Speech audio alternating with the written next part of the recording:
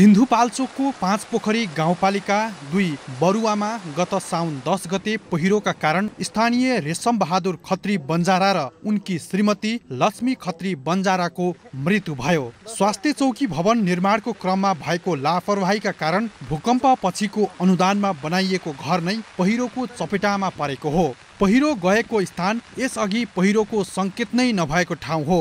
ससुरालीले दिएको जग्गामा बनाइएको घर निर्माणाधीन बरुवा स्वास्थ्य चौकीको ठिक मुनि छ। यो स्वास्थ्य चौकी भवन निर्माणको क्रममा भएको लापरवाहीकै कारण सो पहिरो गएको स्थानीय बताउँछन्। त्यो ठाउँमा चाहिँ एउटा पहिरो जाने एउटा सम्भावना नै नभएको ठाउँ थियो पहिला।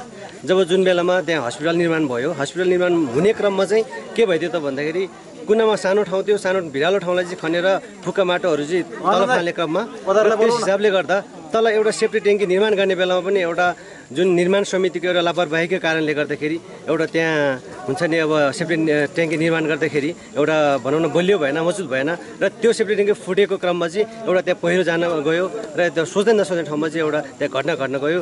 भवन निर्माण कार्य सुरु भएपछि जग खनेको माटो तलतिर मिल्काइएको थियो। सोही कारण पहिरोले बन्जाराको गोठमा यस अघि नै क्षति पुर्याइसकेको थियो। पहिरो गएको दिन मृतकका छोरा सुभाष काठमाडौँ र दिदी मामा घर गएका कारण बाँच्न सफल भएका थिए। पहिरोमा अभिभावक र भर्खरै बनाएको घर गुमाएपछि भर्खर दस कक्षामा पढ्दै गरेका सुभाषले कसरी अगाडि बढ्ने भन्ने सोच्न समेत सकेका छैनन्। पानी परे पनि त्यहाँनिर पहिरो जान नसक्ने जस्तो देखियो र हामी सबैजना घरमै बस्यौँ। अनि म चाहिँ तिन पहिरो जानुभन्दा तिन दिन अगाडि चाहिँ म काठमाडौँ गएको थिएँ सुरक्षित देखेर बनाइएको स्थान स्वास्थ्य चौकी भवन निर्माण गर्दा थुपारिएको माटोले पहिरोमा परेको हो। निर्माण कम्पनीको लापरवाही र कमजोर निर्माणका कारण दुर्घटना हुन गएको त्यसको जिम्मेवारी निर्माण कम्पनीले नै लिनुपर्ने स्थानीयको भनाइ छ।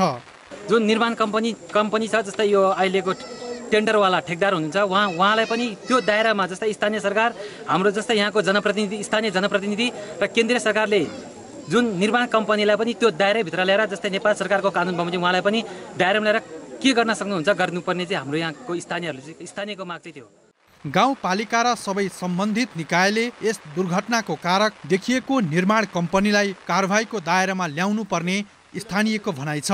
एउटा गरिब परिवारलाई अभिभावक विहीन बनाउने गरी संरचना निर्माण गर्ने कम्पनी र यसको योजना बनाउनेलाई कारवाहीको दायरामा ल्याई पीडितलाई उचित क्षतिपूर्ति दिलाउनु पर्ने उनीहरूको माग रहेको छ।